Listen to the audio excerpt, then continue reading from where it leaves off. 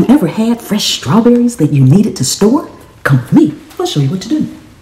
If you have strawberries that you're going to be using soon, just store them in a Ziploc bag that's partially closed with a paper towel inside. Only zip it up halfway and put it in the refrigerator. You can freeze whole strawberries by placing them on a baking tray in a single layer, not touching, and freeze them solid. Once they're frozen, just put them in a Ziploc bag and back in the freezer.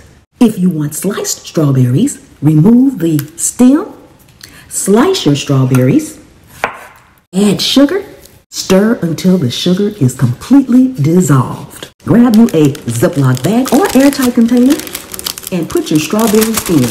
Zip them up tight. They will stay frozen for several months. Once frozen and thawed, the texture will be slightly mushier and they may be darker. And there you have it.